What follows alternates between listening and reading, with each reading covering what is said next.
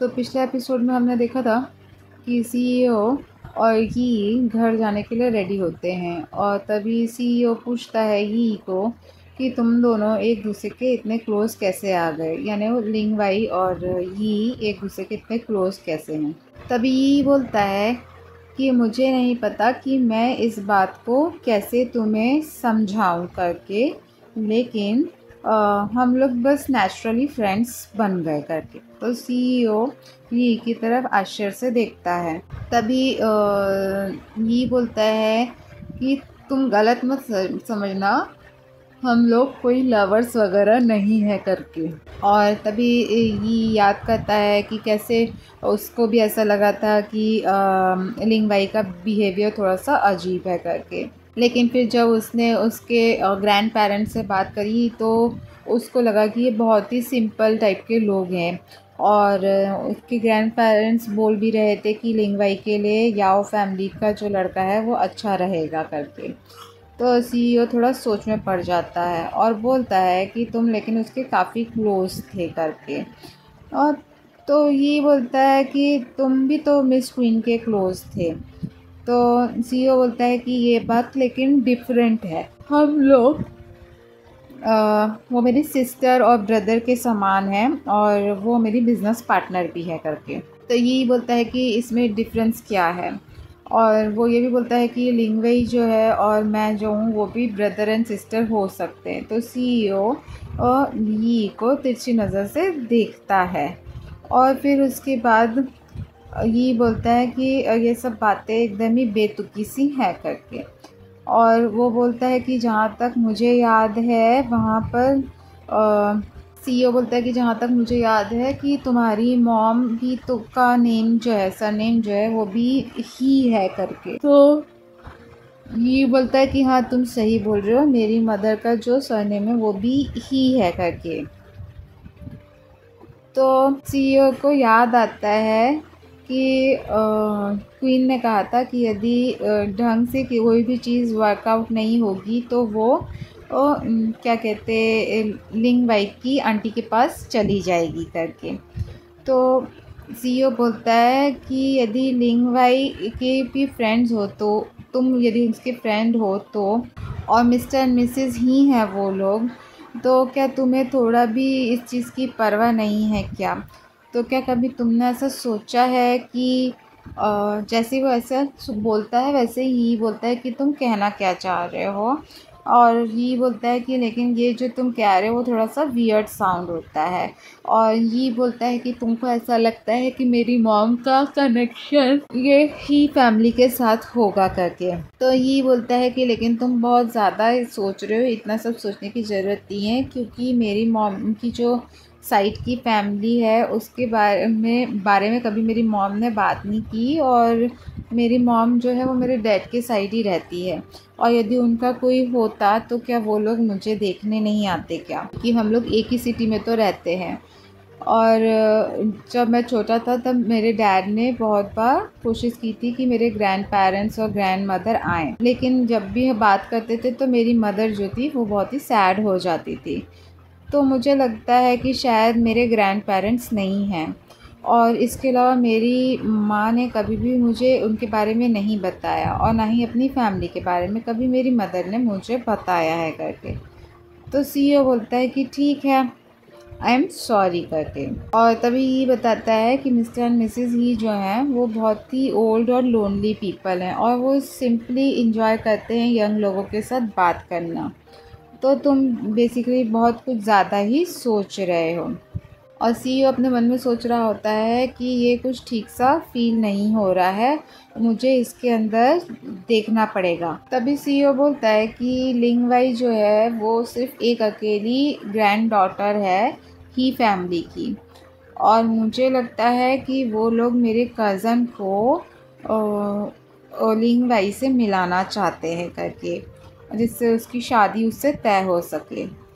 और साथ में क्या कहते हैं, उनका रिलेशन फैमिली के साथ अच्छा होगा तो उनकी फैमिली भी बहुत ज़्यादा मज़बूत हो जाएगी। और इस बहाने लिंगवाई और मेरा जो कज़न है, उन दोनों की शादी हो सकती है। तो ये जो है, वो इमेजिन करने लगता है और सोचता है कि शादी और लिंगवाई की ये कुछ जोक जैसा नहीं है क्या? वो दोनों एक दूसरे को जानते भी नहीं हैं तो इससे उनको क्या ही फ़ायदा और क्या ही प्रॉफिट होगा? और फिर ऐसे में वो कैसे हैप्पी रह पाएँगे? और तभी ये ये भी बोलता है कि ये तो फिर बेनिफिट्स के लिए ही लिंग वाई को मतलब यूज़ किया जाएगा। तो सीईओ बोलता है, तुम थोड़ा शांत हो जाओ, मैं जानता हूँ मेरे कज़न को। और वो जो है, वो सिर्फ़ दिखने में गुड लुकिंग है और डैंडी सा है। और वो वैसे भी लिंग वाई के स्टैंडर्ड से मैच नहीं खाएगा करके। और तभी ये सोच रहा होता है कि कैसे लिंग वाई ने कहा था कि उसको एक ऑर्डनरी लाइफ चाहिए, जिससे कि वो उस लाइफ में हैप्पी रह सके। तो ये बताता है कि जो लिंग वाई है, उसे एक सिंपल सी लाइफ चाहिए, जिससे वो, उसके मन में जो भी रहेगा, वो वो हमेशा कर सके। और उसे किसी भी ऐसी चीज़ में इन्वॉल्व नहीं होना पड़ेगा जिसमें उसको इंटरेस्ट ना हो। उसे एक्टिंग करना पसंद है तो वो एक्टिंग कर सकती है और अपना गुड वर्क जो है लोगों के सामने प्रेजेंट कर सकती है। और तभी सी ये बोलता है कि हाँ तुम सही कह रहे हो। सभी लोगों को लगता है कि ही फैमिली ने लिंग वाई को काफ़ी स्पॉइल करके रखा है और उसे जो है एक्ट्रेस बनने दिया है। लेकिन उन्हें ये नहीं पता कि लिंग वाई को खुद ही एक्टिंग करना कितना पसंद है। तभी अचानक सीईओ पूछता है, यी को कि क्या तुम्हें भी एक्टिंग करना बहुत पसंद है? क्या यही काम है जो तुम अपने पूरी ज़िंदगी भर करना चाहते हो? तो ये सोचता है कि तुमने ये क्वेश्चन अचानक क्यों पूछा करके? तो सीईओ बोलते हैं कि आई एम सॉरी पर मैं बस ऐसे ही तुम्हारा जो कैरियर है, हमेशा उसे जज करता था और उसे मैं हमेशा रूरू के पॉइंट ऑफ़ व्यू से देख, देखता था करके। लेकिन मैंने कभी तुमसे, तुम्हारे ड्रीम्स के बारे में नहीं पूछा। मैं पहले बहुत ही ज़्यादा सेल्फिश था, जो मैं सिर्फ़ अपने बारे में और रूरू के बारे में सोचता था। तो ये बोलता है कि मैं तुम्हें समझ सकता हूँ। तो क्योंकि मैं एक टाइम पे बहुत ही ज़्यादा वरी करता था और एक दिन मैंने सोचा था कि मैं एक बिग स्टार बन जाऊँगा और मैं रूरू को प्रोटेक्ट भी कर सकूँगा और मैं उसे हर तरीके के ट्रबल से दूर रखूँगा और उसको एक हेल्दी एनवायरनमेंट और एक हेल्दी लाइफ दूँगा जिससे वो बड़ा हो सके। लेकिन फिर बाद में ऐसा हुआ कि मुझे सिंपली पता चला कि मैं बहुत ज़्यादा ही उस टाइम पे सोचता था। और ये मेरे लिए इम्पॉसिबल है कि मैं एक बिग स्टार भी बन सकूँ। मैं तो बस डे ड्रीमिंग करता रहता हूँ, दिन में सपने देखता रहता हूँ। लेकिन जो भी हो, मैं एक्टिंग करना चाहता हूँ। और मैं एक बहुत अच्छा गुड एक्टर बनना चाहता हूँ।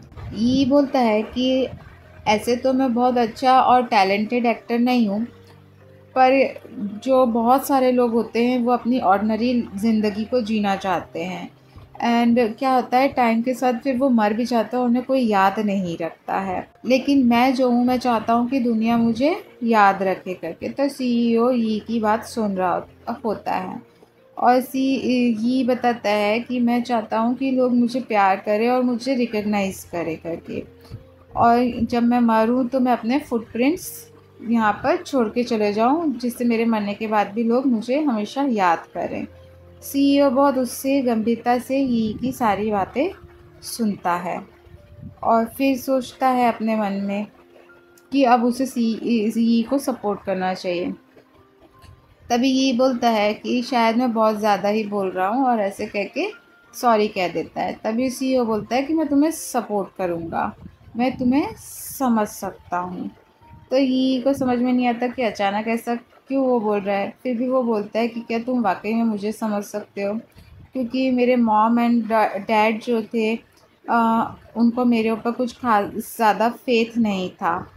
और तभी क्या होता है गाड़ी को बम्प सा लगता है और ये सीईओ के ऊपर गिर जाता है बात कहते कहते तो सीईओ सीईओ ली को संभालता है।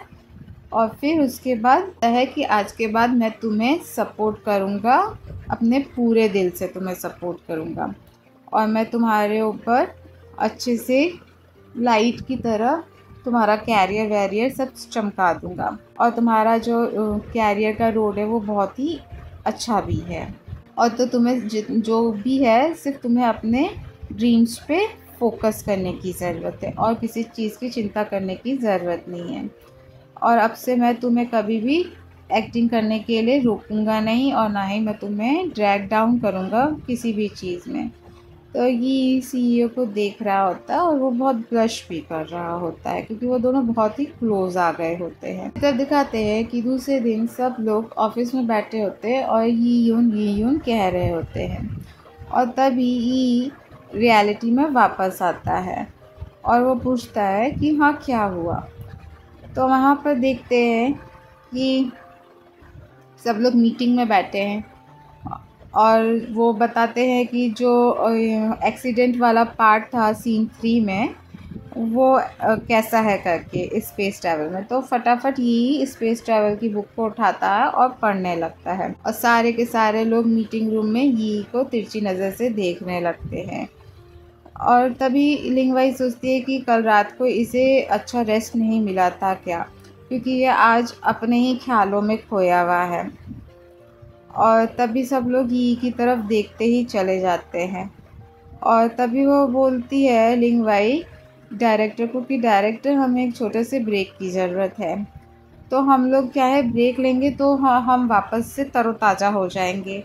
और हम फिर फटाफट सारा काम जल्दी जल्दी कर लेंगे। तो डायरेक्टर ली बोलते हैं कि मेरे असिस्टेंट ने अभी तो फ्रूट एंड मिल्क टी भेजा था कर। तो हम लोग ब्रेक लेते हैं और आ, क्या कहते हैं रिफ़्रेशमेंट करके आते हैं और फिर स्क्रिप्ट पढ़ेंगे करके।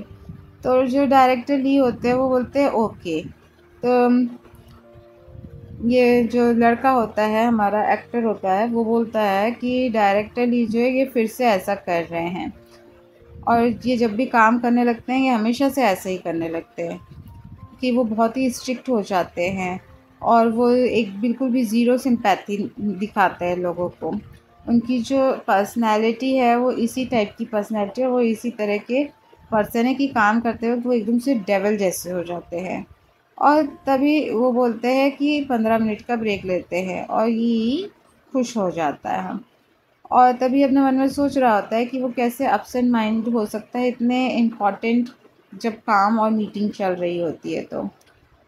तभी लिंग वही आती है और पूछती है कि तुम टायर्ड हो या तुम्हें सिक फील हो रहा है क्या? तो ये बोलता है, ऐसा कुछ नहीं है। और मैं बस कुछ सोच रहा था जिसकी वजह से मैं डिस्ट्रैक्ट हो गया था। तो वो आई एम सॉरी कहता है। तब भी हमारे ये का रूममेट आता है और बोलता है कि ये लो, एक कप चाय पी लो। और इसके बाद तुम फिर चेयर अप हो जाओगे। और इससे क्या होगा यदि तुम अपने आप को ठीक से पुल अप नहीं कर पाओ तो मैं डायरेक्ट डी को और नहीं रोक पाऊँगा। तो ये बोलता है, नहीं नहीं, कोई बात नहीं, मैं प्रॉमिस करता हूँ, मैं ठीक करूँगा। और वो बोलता है कि मैं थोड़ी देर के लिए बाहर जाता हूँ और थोड़ा एयर लेके आता हूँ मतलब फ्रेश एयर लेने जा रहा है वो। तो लोग बोलते हैं लिन भाई बोलती है कि ठीक है, तुम जाओ और पंद्रह मिनट में आ जाना, ज़्यादा लेट मत करना। तो ये बोलता है, ओके। ये अपनी चाय के साथ आगे बढ़ता है और सोच रहा होता है बैठ के कि क्या जो फेंग जी जियाओ था, ये उसी का फॉल्ट है। यदि उसने ऐसी सब वियर्ड चीज़ें बोली नहीं होती तो मैं ऐसा कुछ सोच नहीं रहा होता। और क्या कहते हैं, उसने ये सब कहा, इतने अच्छे शब्द का है, जिसकी वजह से मेरा ध्यान जो है, और काम में भी डिस्ट्रैक्शन हो रहा है करके। और इन सब की जड़ जो है, वो सीईओ है।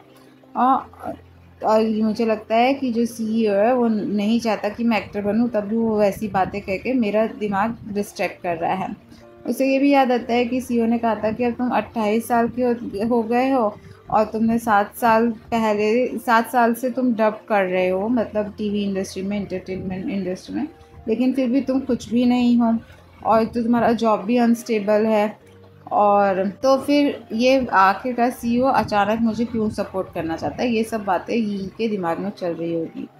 और वो ये सोच रहा होता है कि सीईओ जो है वो काफ़ी बदल गया है। और वो आखिरकार सोच क्या रहा है। और उसने ये भी कहा था सीईओ ने कि वो मुझे सपोर्ट करेगा।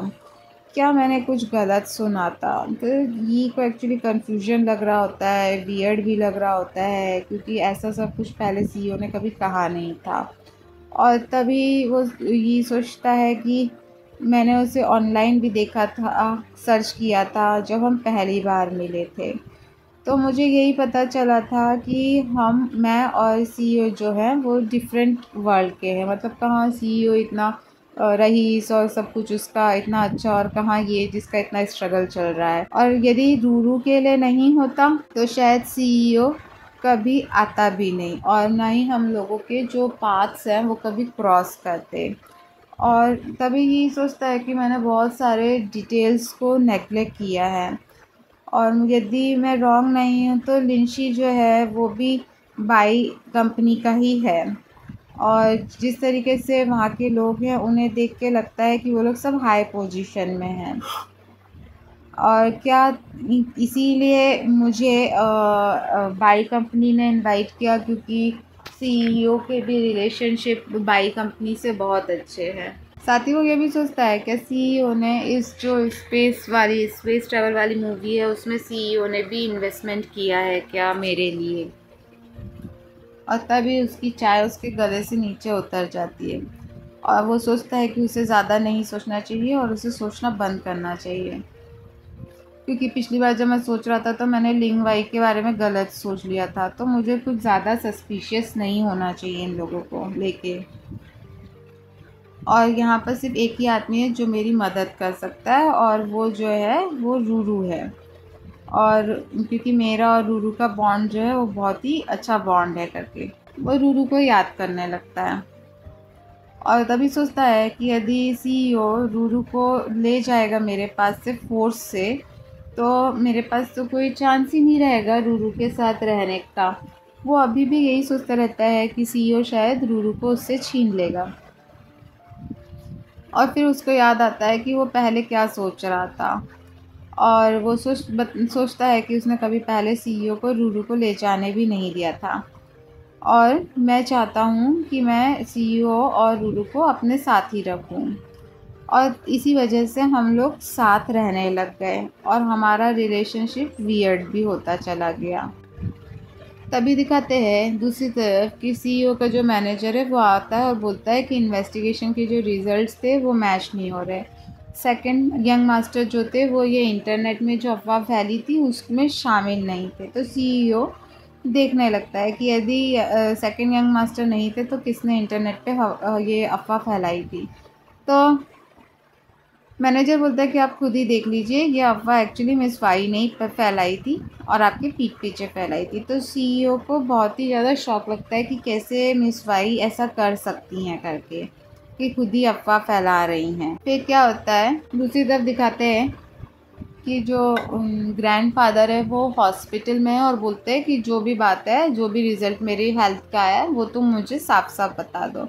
तो डॉक्टर आता है और बताता है कि आपके रिज़ल्ट क्या हैं? तभी ग्रैंड फादर है, अपने असिस्टेंट को बोलते हैं कि तुम थोड़ा बाहर जाके खड़े हो। तो असिस्टेंट बाहर जाने के लिए जाता है और दरवाज़ा क्लोज़ कर देता है और डॉक्टर जो है ग्रैंडफादर के साथ बात करने लगता है। और बोलता है कि आपको हॉस्पिटल में रहना पड़ेगा। तो ग्रैंडफादर बोलते हैं, क्यों रहना पड़ेगा? तो डॉक्टर बोलता है कि आपका जो कैंसर है वो रिलैप्स हो गया है। और ये सुन के हमारे ग्रैंडफादर को बहुत ही ज़्यादा शौक लगता है और उनका मुँह खुला का खुला रह जाता है। अब हम वापस आते हैं सीईओ की तरफ़ और सीईओ देखता है कि ये वा, वाकई में जितने भी सारे र्यूमर्स फैले थे उसके पीछे जो था वो वाई वाई का ही हाथ था। लेकिन वो ऐसा क्यों करेगी? सीईओ ऐसा सोचता है। और ऐसा करने से तो सिर्फ़ उसी की बेजती होगी। तो मैनेजर पूछता है कि, बॉस, हमें क्या करना चाहिए इस स्थिति में? तो उनका जो बॉस है मतलब सीईओ है, वो बोलता है कि, मुझे नहीं पता कि ये सब करने का वाई वाई का क्या ही पर्पस है करके। और सीईओ बोलता है कि, लेकिन ये जो भी वाई वाई ने किया, उसमें मैं और क्वीन जो है, वो इन्वॉल्व है। तो मैं इस चीज़ को पास नहीं होने दे सकता, यानी इसको नेगलेक्ट नहीं कर सकता है। तो मैनेजर थोड़ा सोचता है कि क्या करें।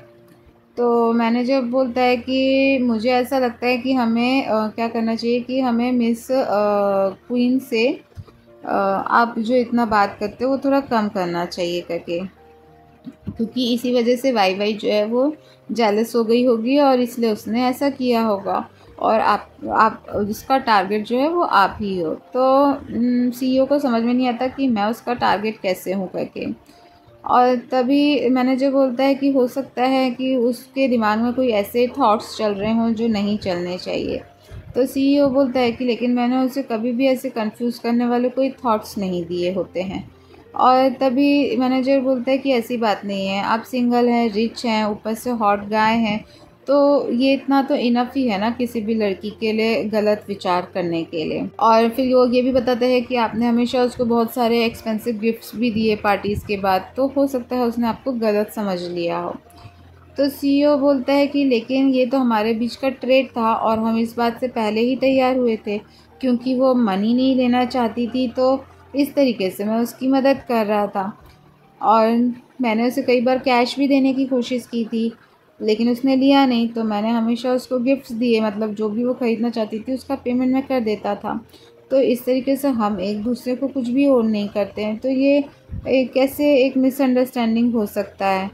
और तभी सीईओ का मैनेजर सोचता है कि ये कैसे मिसअंडरस्टैंडिंग नहीं हो सकता है। क्योंकि वाई वाई हमेशा गलत नज़रों से ही सीईओ को देखती है। तभी सीईओ बोलता है कि ऐसा कुछ भी है क्या जो मैं वाई वाई के बारे में नहीं जानता? तो मैनेजर बोलता है हाँ कि जो वाई वाई है वो हर जगह यही बोलती फिरती है कि मैं सीईओ की गर्लफ्रेंड हूँ और ऐसा कह कह के वो काफ़ी रिच फैमिली से, के लोगों से भी मिली और उन लोगों में वो इन्वॉल्व होती चली गई।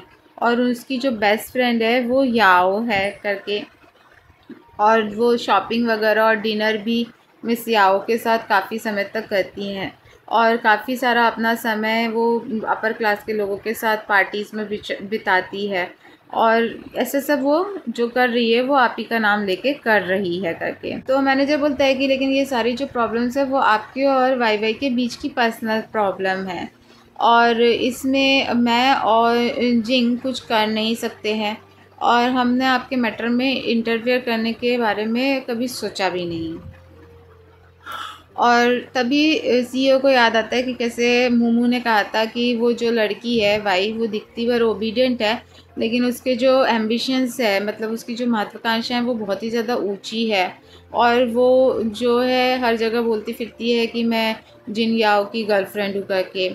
और वो जो है, उसे बहुत सारा फेम भी चाहिए। तभी सी ओ सोचने मन में सोचता है कि मैंने तो ऐसा सब कभी सोचा ही नहीं था। और मैंने कभी ऐसा एक्सपेक्ट भी नहीं किया था कि कोई ऐसा भी कर सकता है। और तभी वो बोलता है कि तुम एक काम करो प्रोफेसर यिन को फ़ोन करो और मेरी उनके साथ मीटिंग फ़िक्स करो। अब क्या होता है कि हॉस्पिटल का सीन दिखाते हैं कि जो ग्रैंडफादर होते हैं, वो अपने असिस्टेंट से बात कर रहे होते हैं। और असिस्टेंट बोल रहा होता है कि क्या आप अपने घर में किसी को इस बारे में बताना नहीं चाहते हैं क्या? आपकी बीमारी के बारे में क्या? आप अपने ग्रैंडसन को भी नहीं बताना चाहते हैं क्या?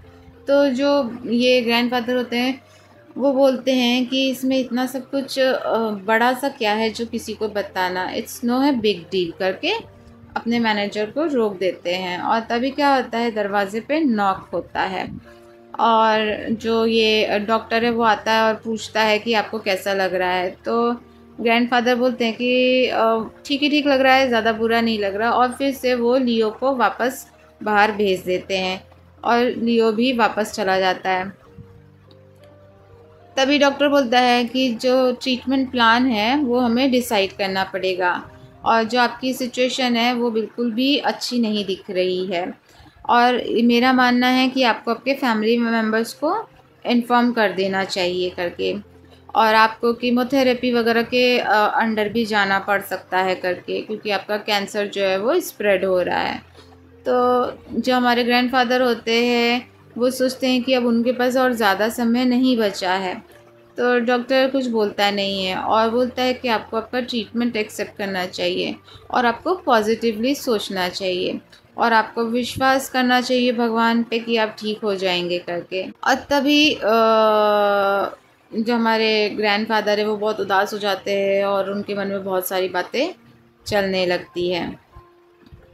और तभी डॉक्टर बोलता है कि आप को रेस्ट अच्छा से करिए और ऐसा करके चले जाते हैं। और ग्रैंडफादर जो है, वो एक बड़े से हॉस्पिटल बेड पे बैठे होते हैं और सोच रहे होते हैं डीप थिंकिंग में होते हैं और सोचते हैं कि क्यों?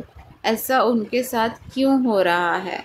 और मैं तो पहले ठीक हो गया था, लेकिन अब फिर से मेरे साथ ऐसा क्यों हो रहा है और मुझे इस पेन से क्यों वापस सफ़र करना पड़ रहा है? और वो सोचते हैं कि वापस मुझे कैंसर क्यों हो रहा है? और वो बार बार एक ही सवाल करते हैं कि क्यों हो रहा है, क्यों हो रहा है करके। और तभी वो अपने बिस्तर में चुपचाप लेट जाते हैं। और तभी उनके मन में एक इच्छा होती है कि वो उस बच्चे को देखें और ये बच्चा कोई और नहीं, रूरू होता है जिसको वो देखना चाहते हैं। और वो बोलते हैं कि मुझे जिंग याओ के बच्चे को देखना है करके। और तभी ये रूरू का भी सीन दिखाते हैं कि रूरू कैसे अपनी डकी के साथ बैठा होता है और गेम्स खेल रहा होता है। और तभी दिखाते हैं कि दो गरम गरम प्याले चाय के रखे होते हैं और एक अनएक्सपेक्टेड गेस्ट आता है। और ये कोई और नहीं होता है। ये हमारे सीईओ ने जिनके साथ प्रोफेसर के साथ मीटिंग फिक्स कराई थी, ये वही होते हैं। तो प्रोफेसर पूछते हैं सीईओ को कि आपका यहाँ आना कैसे हुआ है? और तुमने मुझे कहा कि क्वीन को भी इनवाइट करो और और तुम ही ने उसको एक्चुअली इनवाइट करने के लिए कहा था करके। तो तुम लोग बेसिकली मेरे साथ क्या ही हाइड एंड सीक का गेम खेल रहे हो करके। तभी सीईओ बहुत सारे रिपोर्ट्स निकालता है बोलता है कि प्रोफेसर आप ये सारे रिपोर्ट्स को देखो। तो प्रोफेसर बोलते हैं कि अरे तुम क्या मज़ाक कर रहे हो मेरे साथ? और कि तुम दोनों रिलेशनशिप में हो मतलब क्वीन और तुम रिलेशनशिप में हो तो अब मुझे क्या ही देखना है इस रिपोर्ट में? और लेकिन यदि तुम लोग रिलेशन रिलेशनशिप में हो तो मुझे तुमको रेड पॉकेट देना ही पड़ेगा। और रेड पॉकेट यानी गिफ्ट जैसा ही है इनके कल्चर में। तो सीईओ बोलता है कि, अरे प्रोफेसर पहले पढ़ तो लीजिए, इसमें क्या है? इन सब के बारे में हम बाद में बात करेंगे करके। और तभी, जो हमारे प्रोफेसर है, वो पढ़ते हैं और बोलते हैं कि वाई वाई जो है वो भी यहाँ पर थोड़ी देर में आएगी करके। और देखते हैं कि घड़ी में तीन बज रहा होता है, फिर तीन बज के दस मिनट हो जाता है। प्रोफेसर रिपोर्ट्स देखते ही चले जाते हैं और फिर देखने के बाद बोलते हैं कि ऐसा कैसे पॉसिबल हो सकता है? मुझे विश्वास नहीं होता कि वाई वाई ऐसा करेगी। और तभी सीईओ बोलता है कि आपने स्टोरी तो सुनी ही होगी एक फार्मर और वाइपर की। मतलब किसान और वाइपर की स्टोरी तो सुनी होगी। और मैंने कितनी बार वाई वाई को मदद किया है और उसकी कॉलेज की फ़ीस और उसकी स्टडीज़ का ख़र्चा उठाया है। लेकिन उसने देखो मेरे साथ कितना सारा ट्रबल क्रिएट कर दिया है और ऊपर से वो ये भी क्लेम कर रही है कि वो मेरी गर्लफ्रेंड है। और इतना ही नहीं, उसने कई लोगों को पैसे दे के पोस्टर्स लेके, इंटरनेट पे र्यूमर्स भी फैलवाए हैं। तो क्या आप इमेजिन कर सकते हैं कि मुझे और कैसा फ़ील हुआ होगा और मेरा रेपुटेशन कितना ख़राब हुआ होगा? और यदि किसी को मेरे पर्सनल इन्फॉर्मेशन के बारे में पता चलेगा तो कैसा लगेगा? तो जो प्रोफेसर बोल, बोलता है कि क्या ऐसा हो सकता है कि ये मिसअंडरस्टैंडिंग हो। तो सीईओ e बोलता है कि प्रोफेसर मैं जानता हूँ कि आप टैलेंटेड लोगों की बहुत ही ज़्यादा वैल्यू करते हो। लेकिन ये जो वाई वाई ने किया है, ये पर्सन की पर्सनैलिटी है, ये उसका टैलेंट नहीं है। और जो पर्सन होता है, उसकी पर्सनैलिटी ज़्यादा मैटर करती है। तो मैंने उसके लिए इतना सब कुछ किया, लेकिन फिर भी उसने मेरे साथ ऐसा धोखा किया। और मुझे नहीं लगता कि मुझे ऐसे वाइपर को अपने साइड में रखना चाहिए, और ये कोई एक अच्छा आइडिया होगा। तो अब प्रोफेसर बेचारा सोचने लगता है कि अब क्या ही होगा। और प्रोफेसर बोलता है कि ये बहुत ही ज़्यादा सीरियस इल्ज़ाम है। और मैं इस पर डिसीज़न सिर्फ़ एक साइड की स्टोरी सुन के नहीं करूँगा। मुझे वाई वाई से कंफर्म भी करना पड़ेगा। तो सीईओ बोलता है कि प्रोफेसर सिर्फ़ दो ही ऑप्शन हैं। और आप यदि मुझ पर ट्रस्ट करते हैं तो मैं बोलता हूँ, आप उसको बोलिए कि वो कॉलेज से ड्रॉप हो जाए और ये मैटर को आगे फिर मैं नहीं बढ़ाऊँगा। और यदि आप मुझ पर ट्रस्ट नहीं करते हैं तो आप उसके साइड में जाके खड़े हो सकते हैं और मैं उसको स्यू करूँगा करके। और मैं उसको सारे पैनी जितने भी आज तक मैंने उसके ऊपर खर्चा किया, वो सब उसको फिर रिटर्न करना पड़ेगा मेरे पे। तभी वाई वाई आ जाती है और वाई वाई ये सब सुनती है और फिर उसका मुँह खुला का खुला रह जाता है करके। वाई वाई आते से सुनती है कि कैसे सीईओ बोल रहा होता है कि यदि वाई वाई ने कॉलेज नहीं छोड़ा तो वो एक्शन लेगा, उसको स्यू कर देगा। तभी वाई वाई बोलती है, जिन याओ। तभी सीईओ और प्रोफेसर दोनों पलट के देखते हैं। और वाई वाई बोलती है कि मैं ये एक्सप्लेन कर सकती हूँ। तभी प्रोफेसर बोलते हैं कि हाँ ठीक है, जिन याओ, तुम वाई वाई को एक चांस दो अपने आप को एक्सप्लेन करने का। और हो सकता है ये एक मिसअंडरस्टैंडिंग है। और फिर प्रोफेसर वाई वाई को अंदर बुलाते हैं। और वाई वाई अंदर जाती है और बोलती है कि मैं तुम्हें सी ओ को बोलती कि मैं तुम्हें कोई हार्म नहीं पहुंचाना चाहती थी, मैं सिर्फ़ तुम्हारा इंटेंशन अटेंशन चाहती थी। और तुमने मेरे से इतने समय से कांटेक्ट नहीं किया था तो मैं ज़रा थोड़ा बेकारी सिली सा बिहेव कर रही थी। और यदि मैंने सोचा कि यदि मैं ऐसा सब करूँगी तो तुम मुझे नोटिस करोगे। और इसीलिए मैंने ये सब कुछ किया। और मुझे नहीं पता था कि ये सब तुमको इतना इफ़ेक्ट करेगा। और तभी सीओ बोलता है कि लेकिन जो र्यूमर्स तुमने फैलाए थे और उन, उनके साथ तुम्ही ने कैसे डील करना है इसका आइडिया मेरे मैनेजर को दिया था करके। और उसके बाद याओ का जो पोस्ट था वो तुम कैसे एक्सप्लेन करोगी? क्या वो इसलिए नहीं था क्योंकि तुमने उसको कहा था करके? और अकॉर्डिंग टू इन्वेस्टिगेशन मुझे पता चला है कि तुमने आ, क्या कहते हैं पोस्टर्स भी ख़रीदे थे और क्वीन को इंटरनेट पे अटैक करने के लिए भी तुमने उनको पैसे दिए थे करके। और तुम कहती हो कि मैं अपने आप को ही इंटरनेट पे सरेंडर कर रही थी और जिससे मुझे अटेंशन मिले। तो तुम मुझे बताओ तो इसमें यदि तुम सब कुछ अपने अपने आप के लिए ही कर रही थी तो इसमें क्वीन कैसे शामिल हो गई? तो वाई बोलती है कि अरे अरे मेरा तो इससे कुछ लेना देना नहीं है ये सब तो मिस याओ का किया धरा है। आ, तभी सीओ बोलता है कि मैं याओ को बहुत अच्छे से जानता हूँ तुमसे भी अच्छे से जानता हूँ और हम दोनों ही जानते हैं कि याओ कितनी डम सी है वो ये सब नहीं कर पाएगी। और तभी सीओ बोलता है कि इसमें कोई प्रॉब्लम नहीं है यदि तुम्हें अपनी गलतियाँ एडमिट नहीं करनी है तो पर मेरे मैंने जैसा कहा वैसा करो तुम जा सकती हो करके। और यदि तुम कॉलेज छोड़ देती हो तो मैं कुछ भी ग्रज जो है तुम्हारे खिलाफ़ लेके नहीं बैठूँगा। तो ना भाई भाई बहुत पैनिक करने लगती है और बोलती है आ, कि तुम ऐसा नहीं कर सकते। और मैंने अपना आ, मैं अपनी डिग्री जो है वो यहाँ बीच में आते में नहीं छोड़ सकती हूँ।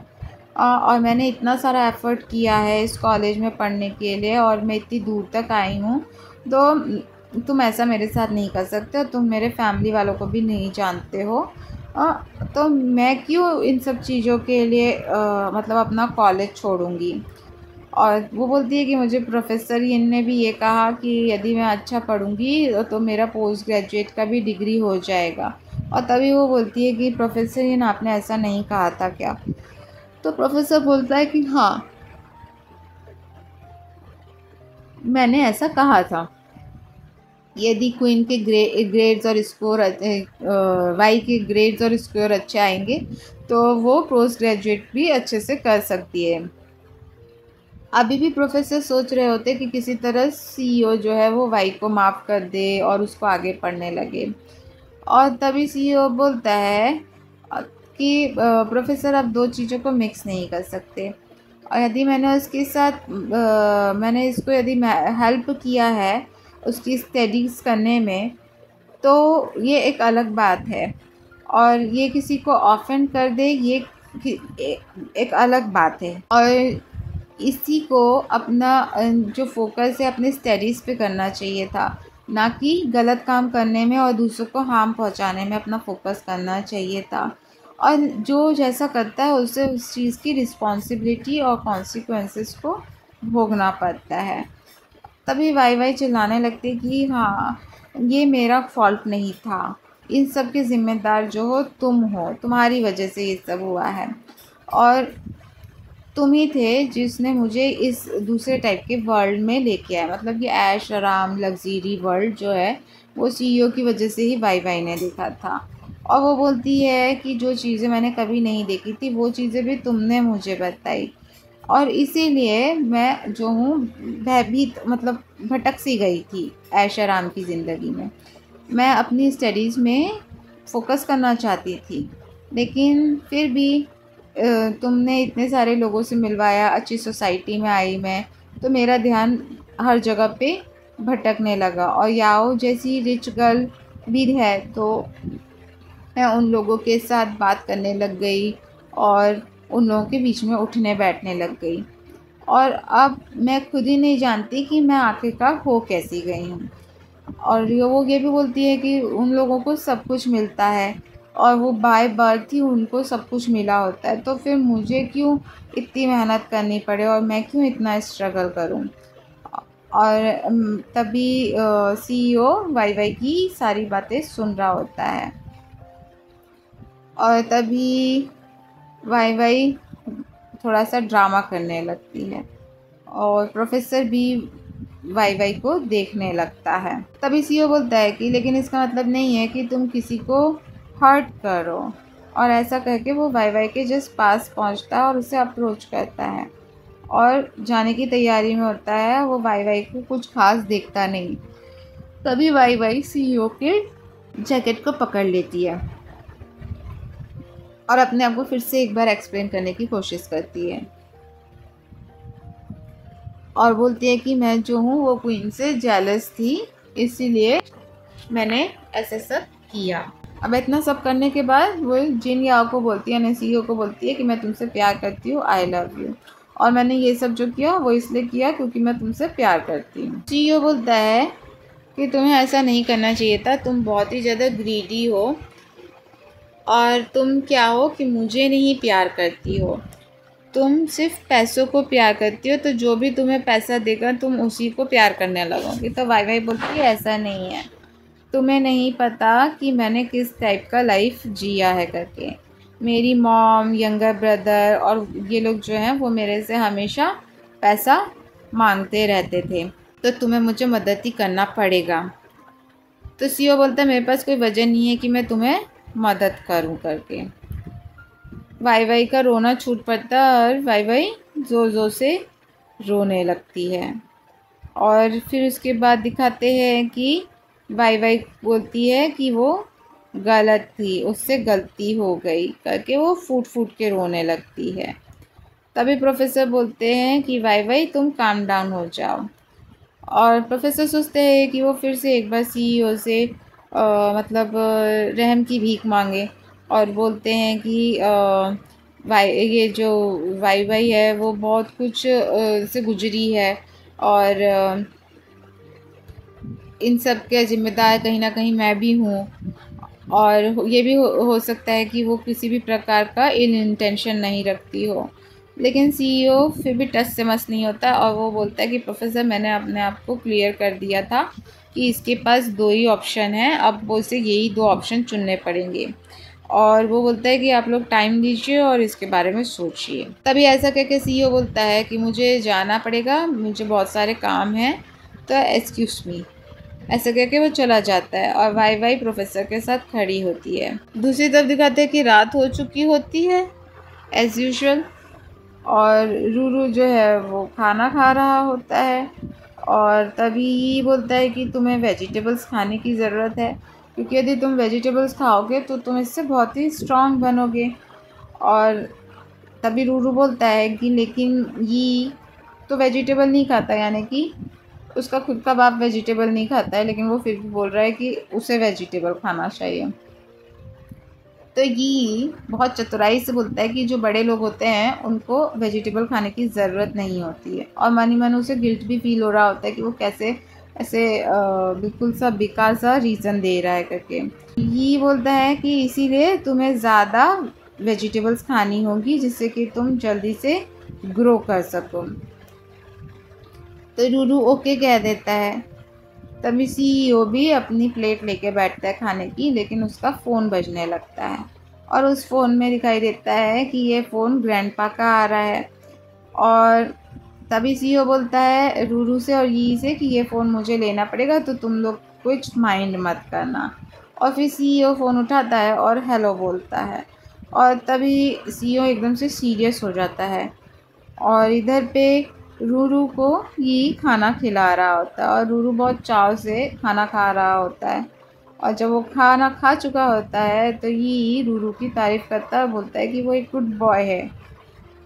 और इधर सीईओ शौक पे शौक हो रहा होता है कि क्या हो रहा है। तभी ये रूरू और ये भी सोचते हैं कि आखिर क्या हो रहा है।